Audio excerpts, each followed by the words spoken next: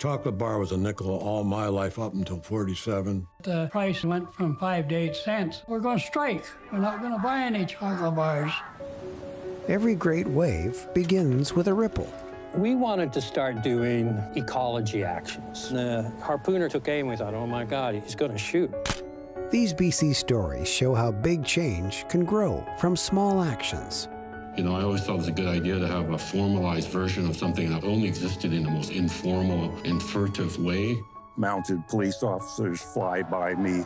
I just stood there, not having thought things through. I am fighting for my future. What I do tell kids is that their voice matters. Small voices, only on knowledge. It seemed crazy, but it happened. We did it.